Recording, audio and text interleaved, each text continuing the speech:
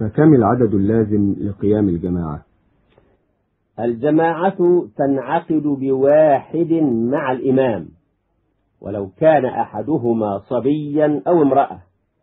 والدليل ما رواه الجماعة أن ابن عباس صلى بالليل في بيت خالته ميمونة خلف النبي صلى الله عليه وسلم ولم يصل معهما أحد.